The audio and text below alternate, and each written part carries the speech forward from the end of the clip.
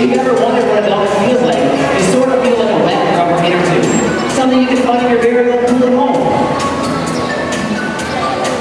Next, our volunteer is going to try some singing.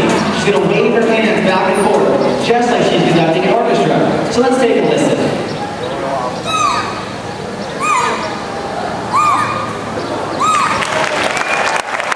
Great job! The students